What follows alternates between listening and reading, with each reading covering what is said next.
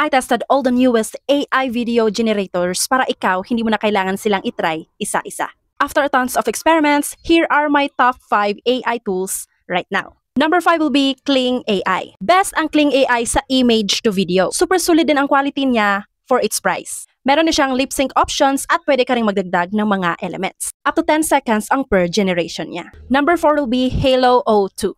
Halo just upgraded to version 2. Mas mabilis ang motion at mas smooth ang physics. Perfect for cinematic animations or realism. Number 3 will be C-Dance.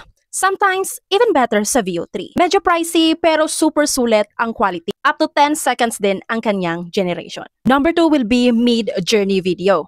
Fast, flexible, and budget-friendly. Kaya ng Mid Journey kahit anong style, from animation to realism. 5 seconds by default but can go up to 21 seconds. Ang downside lang ng Mid Journey is 480p resolution, pero sobrang linaw pa rin. My top 1 AI tool right now will be Veo 3. Viral video machine ang Veo 3. Maraming creators ang gumagamit nito. Best ang Veo sa audio plus video generation. Realistic physics, fluid motion, and crisp quality. 20 to 100 credits ang per video. Ang downside lang ng Veo is your stock at 16 by 9 aspect ratio. But mafi-fix lang naman yan sa mga editing tools. I know not everyone will agree with this list. So let me know in the comments below ano ang number one AI tool mo.